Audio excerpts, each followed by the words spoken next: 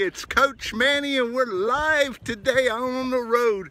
I thought I'd uh, ship with you. Yeah, I got the glasses on today. I hope y'all are doing well. Look at that sky out there. Oh my gosh, what a beautiful day.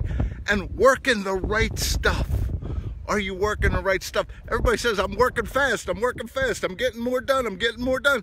But if you're not doing the right stuff, how good is it doing for you?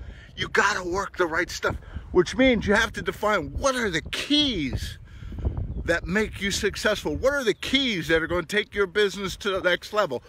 What do you have to do every day and do so well that you outshine everyone else? That's what's going to make you successful. And I want you to define that today. Hey, I'm out here, I'm having a good time today. I hope you all are finding the right things.